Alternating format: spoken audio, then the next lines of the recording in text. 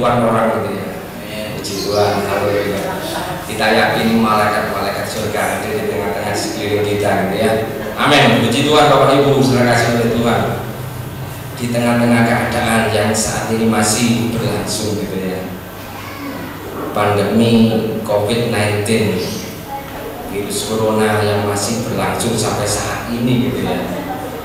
Kita masih boleh beribadah. Itu suatu kesempatan yang indah mari kita pergunakan waktu dan kesempatan ini dengan sebaik-baiknya sehingga kita boleh diperlengkapi secara rohani kita kebenaran firman Allah yang boleh menuntun, mengajarkan kita, meneguhkan, bahkan menempelak akan kehidupan kita, mengarahkan kehidupan kita yang kurang benar jadi benar gitu ya.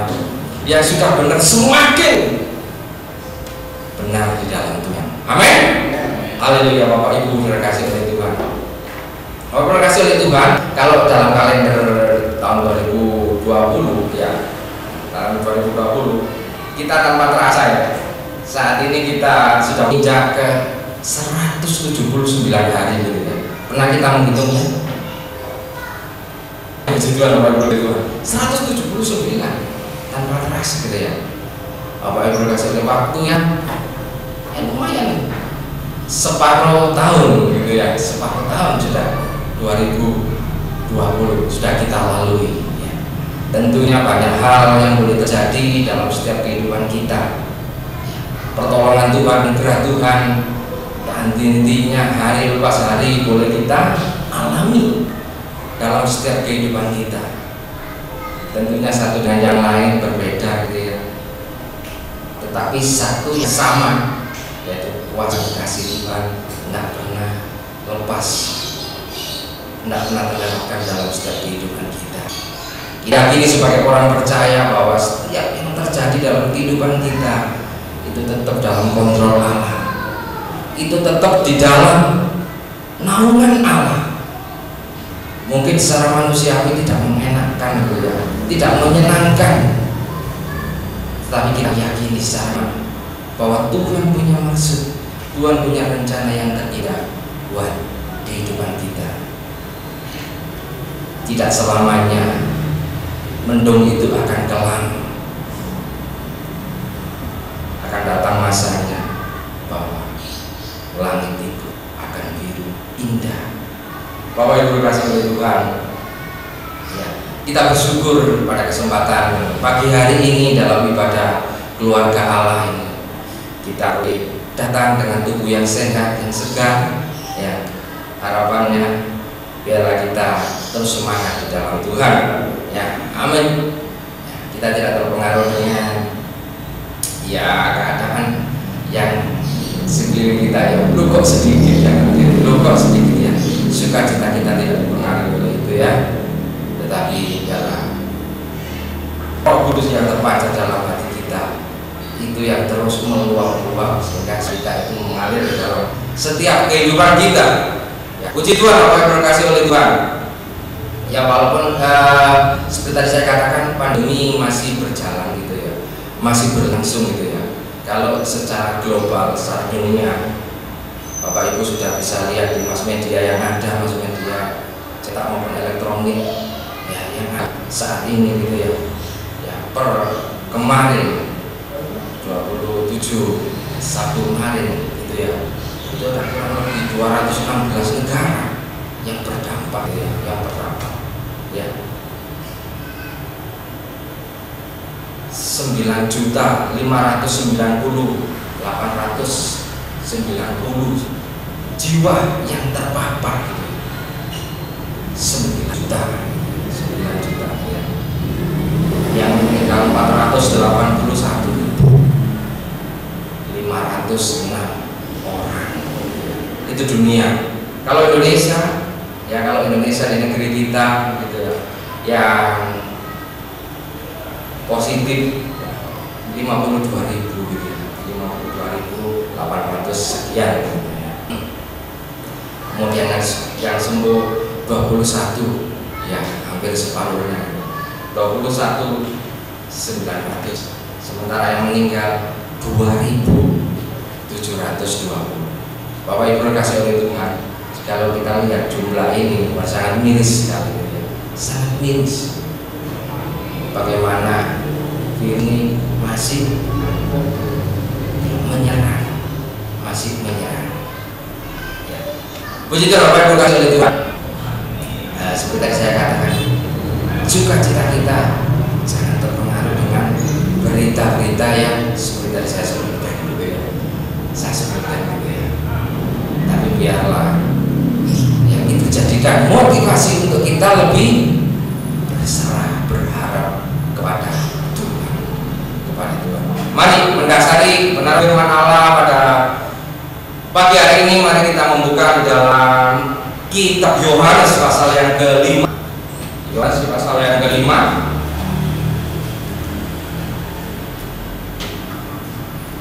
Injil Yohanes pasal yang kelima. Ketemu apa? Yang berkasih oleh Tuhan Yohanes pasal yang kelima ayat pertama sampai ya 18 cuma kita akan baca 1 sampai 9 saja gitu ya. Injil Yohanes pasal yang kelima ayat pertama sampai yang ke 9 gitu ya. Mari saya mengundang kita semua Bapak Ibu Saudara sekalian bagi berdiri.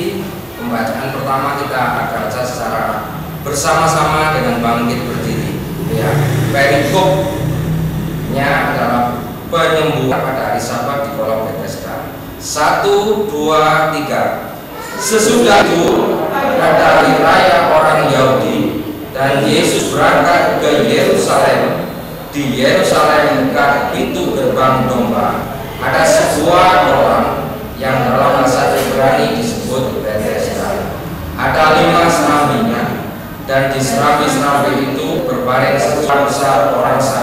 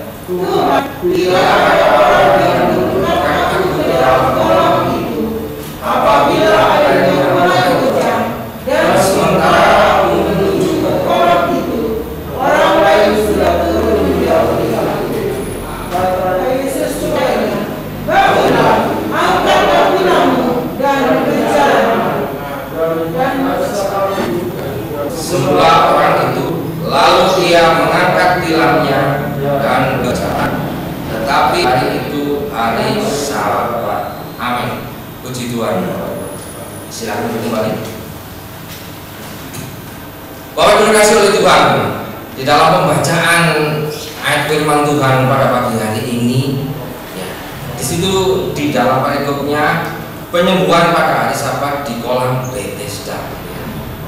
Di kolam Bethesda. Setiap manusia memiliki banyak hal dalam kehidupannya. Realita hidup yang berbeda-beda gitu permasalahan-permasalahan hidup yang berbeda-beda ya ada yang mungkin dipandang itu masalahnya cukup berat untuk diselesaikan ya. ada yang beranggapan masalahnya kecil ya. mudah masalah sepele ada pula yang menganggap sepertinya tidak ada permasalahan Bapak Ibu saudara kasih oleh Tuhan permasalahan permasalahan hidup tidak memandang bulu baik itu mau orang kaya orang miskin mau orang muda anak-anak orang tua dewasa bahkan lansia mereka akan mengalami masalah gitu ya. permasalahan tidak memandang bulu tergantung bagaimana menyikapinya masing-masing manusia. Bapak Ibu kasih oleh Tuhan. Dari sekian banyak masalah-masalah yang ada pada pembacaan pada pagi hari ini, ada satu masalah yang juga sangat memilukan yang dihadapi oleh manusia, yang oleh manusia, yaitu dalam bacaan ini adalah apa? Sakit penyakit Bapak kasih oleh Tuhan, sakit penyakit, sakit penyakit. Saya percaya, saya yakin di antara kita pasti semua pernah sakit, ya. pasti pernah sakit. Walaupun mungkin sakit pilek, flu, panu, kadasen, gitu ya. Itu sakit juga, Bapak Ibu dikasih oleh Tuhan. Sakit. Sampai yang kronis gitu ya, kanker,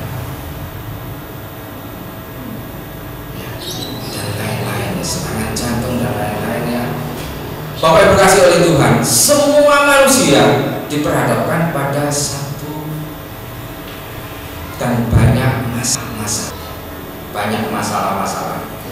Nah, seperti tadi saya tergantung bagaimana kita menyikapi masalah-masalah itu. Itu yang membedakannya kita dengan yang lainnya, kita dengan yang lainnya. Membedakannya kita sebagai orang percaya dengan orang yang atau belum percaya kepada Tuhan. Orang percaya, orang yang di Tuhan, apakah lepas atau terluput dari masalah? Tidak.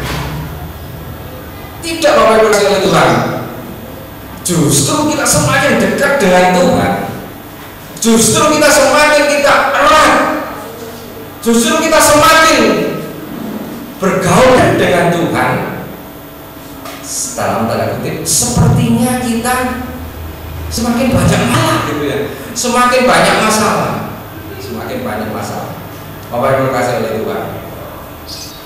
Kembali pada nats kita di sini ada seorang yang lumpuh. Orang yang lumpuh. Yang 38 tahun sudah sakit lumpuh sakit lumpuh. Kehidupannya bergantung pada orang lain. Bergantung dengan orang lain. Bisa melakukannya dengan sendirinya mau ke mana mau mana? Minta bantuan orang lain. Minta bantuan orang lain. Bapak doa saya Tuhan.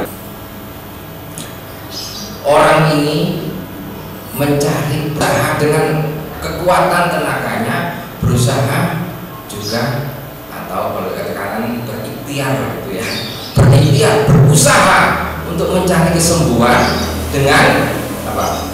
Sama dengan orang-orang yang sakit lainnya, yaitu datang ke kolam Bethesda. Kolam Bethesda. Ya, kolam Bethesda yang berada di Yerusalem dekat pintu ya, gerbang domba. Ya, gerbang domba. Ya, Bapak kasih oleh Tuhan, kolam Bethesda. Ya, kalau berasal dari uh, arti dari Bethesda ya kolam Bethesda ya artinya belas kasihan. Rumah belas kasihan rumah belas kasih. House of grace. House of grace. Rumah anugerah. Rumah anugerah. Bethesda. Bethesda. Di situ kolam Bethesda ini memiliki lima serambi. Lima serambi. Lima Nabi. Berarti kolam ini sebetulnya dirancang dibuat oleh orang-orang yang orang-orang yang punya pemikiran bahwa akan menampung banyak orang, banyak orang gitu ya. Memiliki lima serambi. Kalau kita membaca dalam eh, ayat 2 dan 3, ayat 2 dan 3, di situ disebutkan di kolam Bethesda itu ada ada apa Bapak Ibu oleh Tuhan? Ada banyak orang yang sakit. Banyak orang yang sakit. Ya. Banyak orang yang sakit. Ya. Sejumlah orang sakit. Ya. Baik itu orang buta, orang timpang, orang lumpuh termasuk yang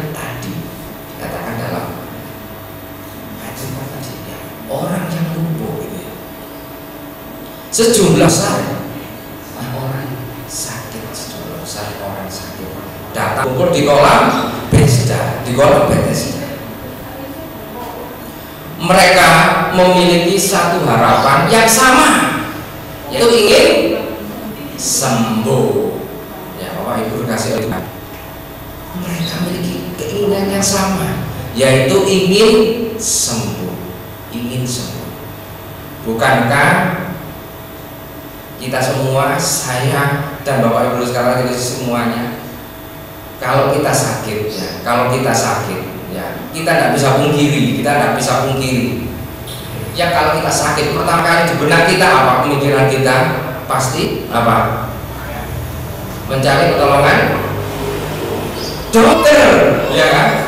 Mencari pemikiran wah saya makan pergi dokter ke rumah sakit gitu ya. Itu pemikiran pertama kita terlintas secara manusiawi sudah nalarnya sudah seperti itu gitu ya dan kita anggap dokter itu sebagai dalam tanda kutip dewa penolong. Dewa penolong yang segala-galanya bisa menyembuhkan sakit penyakit kita. Bahkan sampai beberapa orang eh, mohon maaf bukan saya eh, alergi untuk dokter negeri enggak.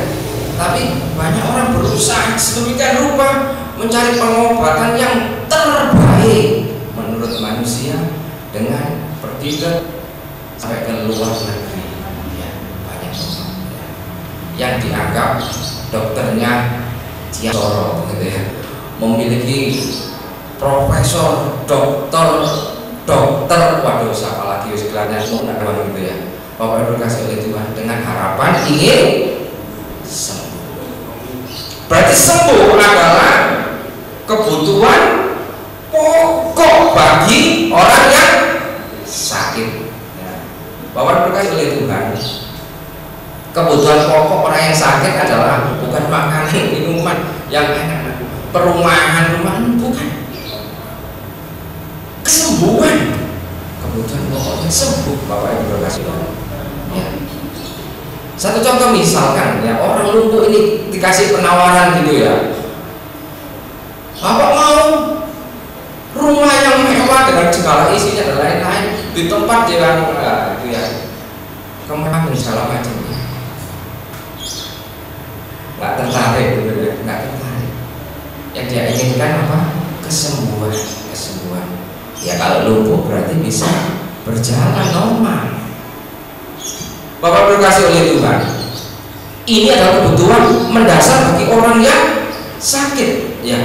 Orang yang sakit ya. Orang yang sakit. Di situ banyak orang memerlukan kesembuhan. Dalam itu kesembuhan. Ya. Bapak Ibu kasih oleh Tuhan kalau kita belajar di dalam ayat-ayat ini ya di dalam ayat-ayat ini ya ini kita bisa ambil banyak pelajaran yang dia ambil gitu ya tentang bagaimana ya proses kesembuhan yang ada di kolam Bethesda ini. gitu yang ada di kolam Bethesda ini kalau secara prosedurnya prosedurnya penyembuhan di kolam Bethesda ini harus apa? Menunggu goncangan air dulu gitu ya. Dan langsung tiba-tiba mau langsung mau loncat langsung subur buka kalau kita baca lebih teliti lagi di situ harus menunggu goncangan air yang apa? Di goncangan air itu diakibatkan oleh apa? Yang keempat oleh malaikat-malaikat gitu ya. Malaikat Tuhan turun ke kolam ya. Sewaktu-waktu malaikat Tuhan turun dan memboncengkan air itu. Prosedurnya seperti ini Bapak Ibu dikasih oleh Tuhan. Jadi proses kesembuhannya Bethesda itu prosedurnya nunggu kolnya itu bergoncang karena malaikat Tuhan turun kemudian cepet-cepetan loncat loncat. Cepet-cepetan loncat. Bapak berkasih oleh Tuhan. Saat belajar ini saya membayangkan ya. Bagaimana mungkin orang yang lumpuh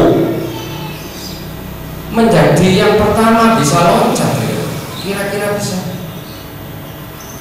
Padahal kayak dua di situ banyak orang sakit banyak di Serambi yang lima Serambi tadi. Penuh dengan orang-orang yang sakit. Orang-orang yang sakit. Ya. Nah kalau sudah ada yang pertama loncat yang kedua bagaimana? Apakah sembuh? Secara detail ditakan tetapi kalau kita baca e, secara implisit di sini hanya yang pertama. Hanya yang pertama dikasih oleh Tuhan padahal saya coba cari-cari gitu ya saya coba nyari di e, literatur yang lain. Saya coba cari. Berapa kali sih dalam kali e, goncangan air? Di Bethesda itu. Saya tidak menemukan gitu, tidak menemukan. Saya tidak menemukan. Sewaktu-waktu saja sewaktu-waktu di sini tidak disebutkan. Berapa kali dalam satu hari dalam satu minggu dalam seminggu dalam setahun tidak disebutkan berarti di sini memerlukan apa? Ke apa? Kesabaran waktu kesabaran gitu ya. Menunggu menunggu menunggu. Ya. Kalau kata menunggu ya. Apalagi bagi anak muda mudi. Ya. Kalau iya. Saat-saat masa PDKT gitu ya PDKT gitu ya, pendekatan menuju ke jenjang pengenal lebih serius lagi gitu. Atau pacaran lah gitu ya. Ya saat menyatakan kasihnya cintanya gitu ya. Menyatakan cintanya. Kemudian salah satu pasangannya mungkin si katakan ya tunggu dulu nanti saya kasih jawabannya. Kira-kira apa ibu? Terutama muda-mudi bagaimana deg-deg kan? Ya. Itu menunggu seperti itu. Nah ini menunggu untuk air yang bergoncang yang waktunya tidak bisa ditentukan. Waktunya tidak bisa ditentukan gitu ya. Mungkin saat air bergoncang terlelap tidur. Gak sempat untuk loncat gitu ya. Saat goncangannya tiba air tiba mungkin kecapean atau lagi ngomong-ngomongan dengan yang lain noleh kanan noleh kiri. Yang lain loncat duluan. Sehingga kesempatannya itu sangat kecil sekali untuk sembuh. Untuk sembuh dapat dibayangkan betapa tersiksanya orang yang sakit lumpuh ini dan juga sakit-sakit yang lain saat itu gitu ya. mereka berbuat. Berbuat untuk sehat untuk sembuh. Ini yang dilihat oleh Allah. Yang dilihat oleh Tuhan Yesus. Yang dilihat oleh Tuhan Yesus ya. Tuhan Yesus melihat betapa orang ini setia. Orang ini setia Bapak Ibu kasih delapan tahun. Waktu yang tidak sebentar Bapak ya. Loncat ke kolam itu ya di sini dapat pelajaran yang bisa kita ambil gitu ya dalam uh, yang terjadi situasi yang terjadi di kolam Bethesda di sini ya. Di sini menunjukkan bahwa ya tadi ya ayat 3 dan 4 ya bahwa hidup itu adalah persaingan ya. Hidup itu adalah suatu persaingan Bapak berkasih oleh Tuhan. Kenapa persaingan? Seperti tadi saya katakan gitu ya. Karena yang pertama saja yang sembuh gitu ya yang bisa sembuh. Ya. makanya mereka berusaha bersaing gitu ya. Walaupun ngantuk berusaha dikuat-kuatkan gitu ya. Atau mungkin yang lelah yang capek ya dikuat-kuatkan. Mungkin ada saudaranya yang membantu menopang atau menjadi gitu ya. Supaya kuat gitu ya. Sehingga saat goncangan air dia ya dibantu. Mungkin seperti itu gitu ya. Mungkin seperti itu. Bisa juga seperti itu ya. Hidup adalah persaingan persaingan persaingan. Ya. seandainya seandainya mungkin saat itu ada nomor antrian ya ada nomor antrian. Mungkin lain cerita ya cerita. Bapak Ibu kasih Tuhan saya bayangkan ya. Kenapa sih kok harus berebut seperti itu ya? Oke nanti aja. Toh pada akhirnya ya kebagian kan? Semuanya gitu ya Bapak Ibu kasih dari Tuhan di dalam pembahasan bacaan ini tidak disebutkan seperti itu. Ini menunjukkan bahwa hidup itu adalah persaingan persaingan. Begitupun kita saat ini di tengah kehidupan kita kita bersaing dalam tanda kutip bersaing. Oleh karenanya mari kita memiliki iman yang teguh di dalam Tuhan dalam menghadapi persaingan-persaingan hidup ini hidup itu. Yang pertama. Ya dalam ayat 3 dan 4 ini yang bisa kita ajarkan yang kita ambil. Hidup adalah persaingan. Yang kedua hidup adalah anugerah. Hidup adalah anugerah. Ya ayat yang keempat. Ayat yang keempat ya. Hidup adalah anugerah. Apa maksudnya adalah anugerah? Nah, dikatakan goncangan air itu uh, goncangan air itu diakibatkan oleh malaikat Tuhan yang turun berarti di situ bukan rekayasa manusia. Rekayasa manusia artinya bahwa kesembuhan itu diberikan kepada manusia atas dan iya. Dianugerahi dianugerahi dianugerahi anugerah ya dianugerahi. Ya. ini menunjukkan bahwa tidak bisa setiap orang itu untuk berusaha maunya sendiri maunya kehendaknya sendiri. Ini dikatakan hidup itu adalah anugerah. Hidup itu anugerah. Ya. kemudian ayat yang kelima. Hidup itu adalah pengharapan. Hidup adalah pengharapan. Ayat yang kelima. Di situ ada seorang yang sudah 38 tahun lamanya sakit. Ya ayat yang keenam Ketika Yesus melihat orang itu berbaik di situ dan ia tahu bahwa ia telah lama dalam keadaan itu berkatalah ia kepadanya, maukah engkau sembuh? Bapak dikasih oleh Tuhan. Satu pertanyaan yang menjadi kebutuhan pokok bagi orang yang sakit, gitu ya. Jadi Tuhan tidak berkata, adakah makanan bagimu? Seperti pada saat Tuhan mengatakan pada murid-muridnya tidak. Tapi dia katakan dia tanya maukah engkau sembuh? Loh apakah Tuhan nggak ngerti? Loh apakah Tuhan nggak paham? Kalau ya dia ini tuh pasti ingin kesembuhan. Kenapa kok ditanyakan maukah engkau sembuh? Tuhan ini maksudnya apa? Maksudnya apa Bapak Ibu dikasih oleh Tuhan. Ini pertanyaannya menggelitik memang. Saya juga belajar ini. Kenapa sih? Wong orang sakit ya pasti ditanyakan mau kau sembuh pasti mau sembuh gitu ya. Tapi Tuhan tanyakan ini dengan tujuan apa? Tuhan ingin tahu orang ini apakah masih memiliki harapan pengharapan enggak? Waktu 38 tahun nggak sebentar gitu ya. Nggak sebentar.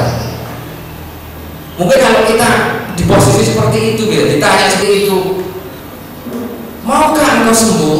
Mungkin saya membayangkan saya sendiri gitu ya. Kalau ditanya maukah engkau sembuh? Pasti mungkin saya akan bertanya gue awak mau ngecek apa gitu ya. Lah aku ini masalah apa? Gitu ya. Yo pengen sembuh gak usah ditakoni gitu, gak ditakoni. Jangan ditanya gitu. Tapi Bapak dikasih oleh Tuhan, orang ini menjelaskan. Tidak marah-marah saat ditanya Tuhan seperti itu ya. Kalau kita baca ya, ayat yang ketujuh. Kalau kita bahwa orang ini menjawab orang sakit itu pada Tuhan ya ada orang yang menurunkan aku ke dalam kolam itu apabila airnya mulai goncang dan setelah aku muncul kolam itu orang lain sudah turun mendahului aku Bapak Ibu kasih oleh Tuhan. Jawaban ini bukan jawaban malu. Bukan jawaban emosi orang jawaban yang apa? putus asa. Bukan. Bapak Ibu kasih oleh Tuhan? Tuhan mengerti jawaban orang ini. Berarti dia punya pengharapan punya pengharapan. Ya punya pengharapan. Punya pengharapan. Bapak oleh Tuhan. Kalau harapan apa akibatnya? Ayat ke-8 Ayat yang ke-8 Coba kita lihat ayat yang ke-8 Kata Yesus kepadanya Bangunlah, angkatlah tilammu dan berjalanlah. Berjalanlah. Bapak Ibu dari Tuhan. Satu jawaban yang tidak dinyana-nyana. Satu jawaban yang tidak disangka-sangka bagi orang yang yang lumpuh ini dengan pertanyaan maukah engkau sembuh? gitu ya. Maukah engkau sembuh? Mungkin pemikiran orang lumpuh ini kalau pertanyaan maukah engkau sembuh? pasti pemikirannya dia akan membantu me, apa ya membantu iya memasukkan atau mencemplungkan gitu ya, ke kolam saat goncangan air tiba mungkin pemikirannya seperti itu. Karena prosedurnya kan ada seperti itu ya kesembuhannya ya. Kesembuhan di kalau sudah. Tetapi jawabannya tidak disangka-sangka satu jawaban yang ajaib. Yang diterima oleh orang yang lumpuh itu. Bangunlah angkatlah tilammu dan berjalanlah. Bapak Ibu sekalian oleh Tuhan. Ya inilah satu jawaban yang ditunggu-tunggu suatu kebutuhan pokok bagi orang yang sakit. Bangunlah angkatlah tilammu dan berjalanlah. Berbicara angkatlah tilammu, tilam, tilam, alas dasar. Angkatlah tilammu ini menggambarkan bagaimana tentang persoalan-persoalan hidup yang menghimpit kita, yang menghimpit kita, gitu ya dan juga dasar-dasar yang selama ini pola pikir pola pikir kita yang salah yang salah lantas dasar pola pikir kita yang salah angkat tilangmu angkat tilangmu angkat tilangmu Bapak berkasih oleh Tuhan. Ini ada satu tindakan iman yang diperlukan bagi orang lumpuh ini.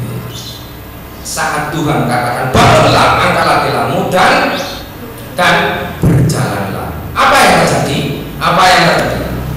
Ya Bapak berkasih oleh Tuhan yang terjadi ayat selanjutnya ayat 9 dan pada saat itu juga sembuhlah orang itu lalu dia mengangkat tilamnya dan berjalan. Bapak berkasih oleh Tuhan sungguh sungguh tidak prosedur-prosedur aturan-aturan tentang kesembuhan yang selama ini ada di kolam Bethesda dihapuskan oleh Tuhan dengan satu perkataan firman bangunlah angkatlah tilammu dan berjalanlah musisat terjadi. Terima oleh Tuhan.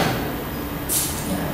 ini yang terjadi bagi orang yang lumpuh Pelajaran apa yang Bapak kita pelajari pada pagi hari ini melalui pembacaan? Pelajaran melalui orang lumpuh yang disembuhkan di kolam Bethesda. Bapak dulu dikasih oleh Tuhan pelajarannya tadi. Yang pertama tadi tentang oh hidup ini adalah ya persaingan. Kemudian kedua hidup ini adalah anugerah. Yang ketiga hidup ini adalah pengharapan, pengharapan. Musisah terjadi apabila satu menyadari akan kelemahan-kelemahan kita kita sadar akan kelemahan-kelemahan orang lumpuh ini dan juga orang-orang yang lain yang ada di kolam Bethesda itu sadar sadar betul dia bahwa dia sakit gitu ya. Kelemahan oh sakit gitu ya lemahnya. Makanya dia berusaha mencari kesembuhan cari kesembuhan cari kesembuhan. Menyadari akan dirinya sendiri gitu ya. Menyadari akan kelemahan-kelemahan kita gitu ya. Dengan kita menyadari kelemahan kita kita tidak akan mengandalkan kekuatan kita sendiri tapi kita mengandalkan kekuatan Tuhan. Ya Yeremia 17 ayat 5 sampai 7 ya bisa dibaca di rumah. Bapak berkasih oleh Tuhan. Itu yang pertama. Kemudian dua mujizat terjadi apabila apa? Kita dengar dengaran akan suara Tuhan. Dengar dengaran akan suara Tuhan. Mana suara Tuhan? Firman tadi yang katakan bangunlah angkatlah tilammu dan berjalanlah suara Tuhan. Maukah engkau sembuh? Suara Tuhan. Ya. orang ini dengar jawab enggak jawab. Bapak ibu dikasih oleh Tuhan. Seperti terkadang dia marah-marah dan lain-lain tapi menjawab kan. Itu berarti menunjukkan bahwa orang ini dengar-dengaran perkataan firman Tuhan. Oleh karenanya saat ini mari kita belajar bersama untuk kita mendengarkan. ya yang terakhir. Yang terakhir. Jadi yang pertama tadi ya menyadari akan kelemahan-kelemahan kita dengan dengaran suara Tuhan yang kedua. Yang ketiga adalah ya memiliki iman dan ketaatan. Yang pokok lagi adalah memiliki iman dan ketaatan ya. walaupun menyadari kelemahannya dengar suara firman Tuhan tapi kalau tidak ada iman dan taat pada dasarnya iman tanpa perbuatan pada akhirnya adalah iya mati ya. Iman tanpa perbuatan. Ada action ada tindakan. Ada tindakan. Ada action ada tindakan. Memiliki ya iman dan ketaatan. Taat ya. Akhirnya orang ini dalam cita-cita selanjutnya dikatakan orang itu betul mengangkat tilamnya ya dia bangun mengangkat tilamnya dan dia lupakan prosedur-prosedur yang selama ini dihafalkan gitu. Selama 38 tahun prosedur untuk kesembuhan itu dihafalkan gitu di kolam Bethesda loncat apa air loncat itu prosedurnya. Tetapi di sini katakan bahwa orang ini taat memiliki iman dan taat. Sehingga kesembuhan itu nah, puji Tuhan Bapak Ibu terkasih oleh Tuhan biarlah pada kesempatan pagi hari ini kita diingatkan dengan pelajaran orang yang sakit luput. Mari ya, setiap kita kita juga menyadari apa yang menjadi kelemahan-kelemahan kita. Tuhan mengerti apa yang kebutuhan dasar pokok kita. Tuhan paham. Bukan Tuhan tidak mengerti. Ya. Maukah engkau itu bagi orang yang sakit tapi bagi orang yang mungkin saat ini kita memiliki beban-beban berat yang berbeda satu dengan yang lain, Tuhan katakan yang berbeda. Mungkin dengan saya Tuhan katakan berbeda, dengan waktu dengan Bapak Roni, Tuhan katakan juga yang berbeda. Dengan Bapak Tony Tuhan juga katakan yang berbeda. Tuhan yang katakan berbeda. Ya, tetapi satu yang sama yaitu Tuhan Maha satu iman kepercayaan dan ketaatan akan firman. Puji Tuhan. Haleluya. Haleluya. Mari kita akan bangkit berdiri. Daripada